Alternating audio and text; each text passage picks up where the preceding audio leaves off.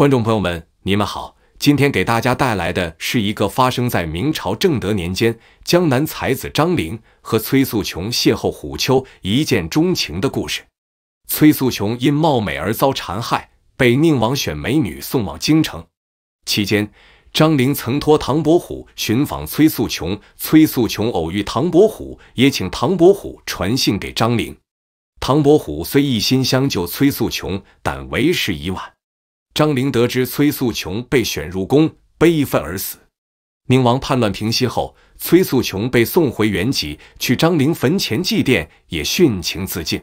本书共七十页，由名家韩和平、何进共同绘画，江苏人民出版社出版。好，精彩马上开始，请不要离开。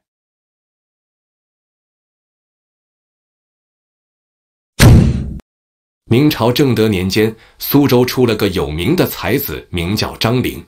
他容貌俊秀，才华过人，能诗善画，风流倜傥，性情豪放。张陵早年就很聪明，十三岁应童子科考试时就考了第一名。但他对科举制度和八股文章十分鄙视，自这次以后，再也不去应试了。张陵非常崇拜唐代的大诗人李白。他自比李白，每天喝酒吟诗，不肯随便结交朋友，别人也不敢随便和他接近。只有很有名望的唐伯虎看中张陵的才气，两人虽然年龄相差不少，但意气相投，终于结成知己。一天，唐伯虎问起张陵的婚姻大事来，张陵有些害羞，顿了一下，说道：“呃，堂兄啊，你是知道我的。”除非是《西厢记》中的佳人崔莺莺在世，其他人我是一概不会娶的。唐伯虎懂得了张陵的意思，笑着说：“哈哈哈哈！那好，贤弟，我一定物色一个像莺莺那样的佳人来配你。”说罢，两人都笑了起来。一次，张玲听侍童说，唐伯虎和祝枝山在虎丘宴客。他非常想去参加，然而他未被邀请，不好意思贸然前去，便想出了一个主意。张玲换了一身破衣服，赤着一双脚，扮作乞丐，一路行乞到了虎丘。虎丘山上亭台楼阁之间坐满了宾客。张玲见状，便整了整破衣衫，高声的唱着道情走了过去。张玲每到一处，便向宾客礼貌的说道：“客官。”请赐一杯酒吧。宾客们见他眉清目秀，面貌俊美，不像个乞丐，都争着给他酒菜。有些商贾故意耍弄张陵，要他写字赋诗。张陵并不在意，只见他拿起笔来，随意一挥，就是白手。商贾们看着惊讶不已。张陵远远的望见唐伯虎和祝枝山等人聚集在可中亭内。他便高声的唱着道情，走上前去讨要酒喝。唐伯虎早就看出了他是张陵，为了让张陵在众人面前显露一下才能，他和祝枝山悄悄约定，假装不认识。唐伯虎见张陵走来，故意的大声说道：“好个大胆的叫花子，竟敢如此无礼到这里讨酒！不过看你可怜，如果你能救雾世轩书成一绝句。”就赏给你，不然可要打折你的腿。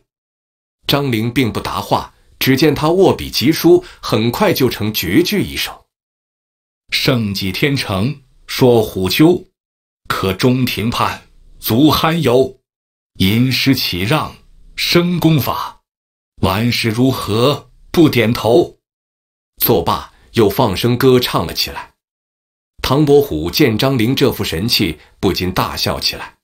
霎时间，席间的宾客们对张陵的才气佩服得五体投地，他们一个个面面相觑，感到十分惊奇。唐伯虎叫张陵坐下喝酒，张陵毫不客气，喝得酩酊大醉。喝完酒，他抖抖衣服，也不向宾客们打招呼，唱着歌，径自走了。张陵一离席。唐伯虎就兴冲冲地画了一幅张陵行乞图，祝枝山也来助兴，随即在图上题了字。正在这时，有一位白衣素冠的老翁走来，原来这是南昌进士崔文博。他在余县教书，现在辞职回乡，路过苏州，是仰慕唐伯虎之名而来拜望的。崔文博见到这幅张陵行乞图，观赏良久，他爱不释手，对张陵的才貌品行赞叹不已。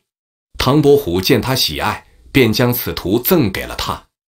崔文博得到了张陵行乞图，欣喜万分，匆匆回到了泊船的地方。不想船已驶离河岸，叫了好久，船才回到岸边。原来崔文博有个女儿，名莹。字素琼，天资聪颖，容貌美丽。因为母亲刚刚去世，他跟随父亲乘船运灵柩回乡安葬。这天，崔文博去拜访唐伯虎。素琼听到岸上人声喧闹，出于好奇，打开了窗户。他一看，原来是一个正在歌唱道情的乞丐。一刹那间，乞丐猛然也看到了崔素琼。他望见眼前如此端庄美丽的姑娘，不禁疾步登上船头，在船窗前跪了下来，自称是苏州才子张陵。崔素琼叫他离开，他不肯。后来仆人把他推上了岸，并将船驶离了岸边。崔文博回到船上，听女儿说起这件事，连忙把那幅张陵行乞图打开，说：“傻丫头，你刚才看到的那个乞丐。”正是这画中之人啊！说罢，将真情详细说给他听。素琼恍然大悟，对张玲顿时产生了爱慕之情。崔文博甚是喜爱张玲，原想托唐伯虎和祝枝山做媒，把女儿许配给他，不料生了几天病，不能起床，只好回南昌再说。这幅张陵行乞图也由女儿收藏在箱中。张玲自从见到崔素琼，一见钟情，便到虎丘去探访。他访了很久，才知道崔素琼已返南昌，很觉失望。一天，张玲去拜望唐伯虎，只见唐府门前有车有马，一打听，原来是江西宁王陈豪派人来接唐伯虎去江西的。张玲见了唐伯虎，就把思念崔素琼的情意告诉了他。并请唐伯虎在南昌代为探访崔素琼，唐伯虎高兴地答应了。宁王陈豪野心很大，蓄意背叛朝廷。他仰慕唐伯虎做的诗画，想叫唐伯虎画幅十美图进献，以骗取朝廷的信任。当时陈豪只找到九个美人，唐伯虎也就画了一幅九美图，并在图上题了诗，交给了陈豪。陈豪见了九美图，非常欣喜，他专门设宴请唐伯虎，并邀了一个名叫季生的作陪。季生见了九美图，眨了眨眼，对陈豪说道：“宁王殿下，这九美图果然非同一般，但十美缺一，岂非美中不足也？在下可推举一位美女，画个十美，您看如何呀？”第二天，季生向陈豪献上了一幅美人图，图中的美人不是别人，正是张陵日思夜想的崔素琼。陈豪见崔素琼长得美貌动人，赞不绝口，他当即命季生把崔素琼召进宫内。崔素琼的图像怎么会到季生之手呢？原来崔素琼的才貌过人，在南昌城前来求婚的人络绎不绝，但都被一一回绝了。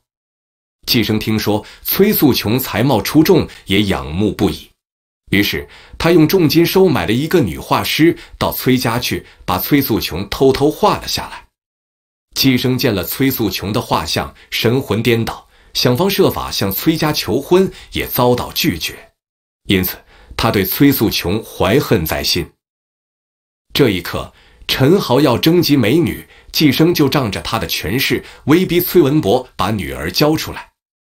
崔素琼被逼得悲愤欲绝，一纵身想跳楼自尽，却被季生给拦住了。崔素琼百般无奈，只得从箱子里取出张陵行乞图，在上面悲愤地题了一首诗：“才子风流第一人，愿随行乞乐清贫。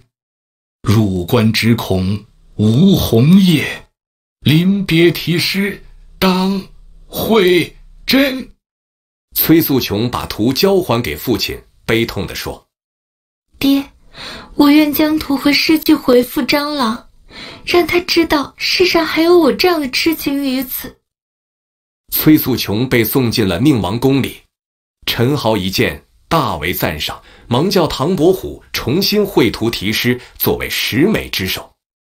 其实，唐伯虎早就看到寄生献出的崔素琼图，暗中模仿着画了一幅。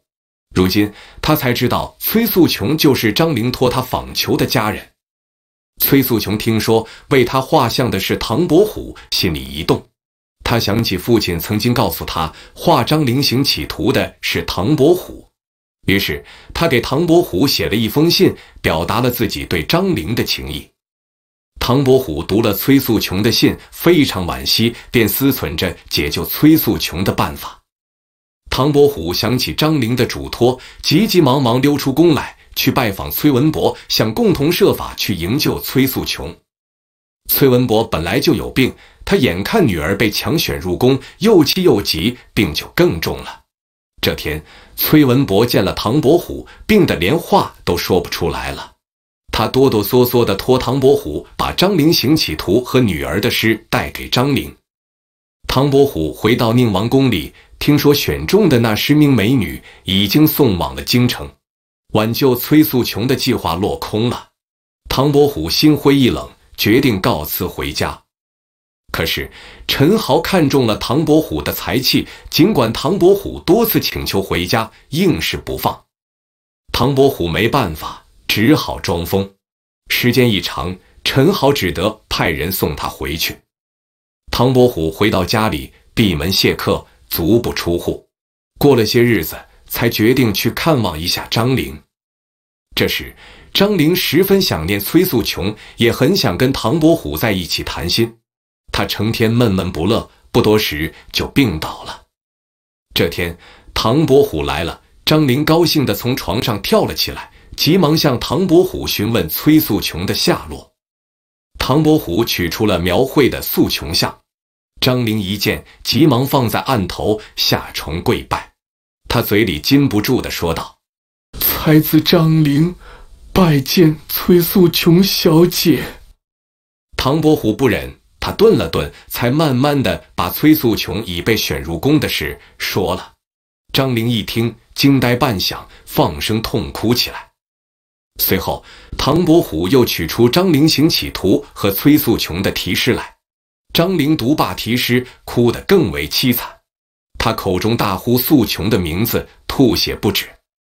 过了几天，张灵自知病重，请唐伯虎来见最后一面。他悲伤地对唐伯虎说道：“兄长，待我死后，请你将崔素琼的画像和我。”葬在一起吧。说罢，张陵要了一支笔，在纸上悲愤地写道：“张陵，字梦见，为殉情而死。”写罢，将笔放下，悄然死去。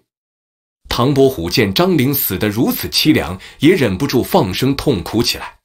他按照张陵的愿望，把崔素琼的画像和张陵一起葬在了玄木山脚下。这时，陈豪叛乱被平定了，崔素琼等十位美女都被送回了原籍。崔素琼回到南昌以后，知道父亲已去世，便决定同老仆崔恩上苏州去找张玲。崔素琼设法找到了唐伯虎，一开口就问张玲的情况。唐伯虎听了，悲痛的几乎流出泪来，他感伤的说道：“唉，张玲是为了你郁闷成病。”吐血而死的，崔素琼听了一怔，不禁失声痛哭。唐伯虎劝慰了一番，决定陪他去张陵墓祭奠。第二天，唐伯虎陪崔素琼来到了张陵墓前，崔素琼穿了孝服，伏在碑上哀声痛哭。崔素琼将张陵行乞图悬挂在墓前，放好祭品，点了香烛。然后他端坐在墓前石凳上，一遍遍地读起他的诗稿来。他读一篇，哭一遍，十分凄惨。唐伯虎和崔恩在一旁，见崔素琼哭得心碎，于心不忍，背过身子踱了几步。崔素琼不停地痛哭着，突然，他一头撞向石碑，顿时血流满地。唐伯虎和崔恩赶忙赶到墓前，崔素琼已断了气。唐伯虎把崔素琼和张陵合葬一处，还把张陵的诗稿和行乞图一并放到崔素琼棺中殉葬。这个凄婉的爱情故事迅速地传遍了苏州城，人们都很同情和惋惜这一对殉情的青年男女，所以当时到张陵、崔素琼墓前吊唁的人络绎不绝。